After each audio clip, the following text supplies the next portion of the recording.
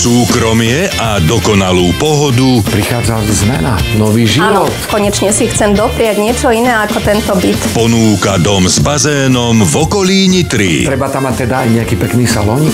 Ani nie salón, ale priestor, priestor na moju kreativitu, aby som sa mohla venovať tomu, čo ma baví. A záhradu chce veľkú?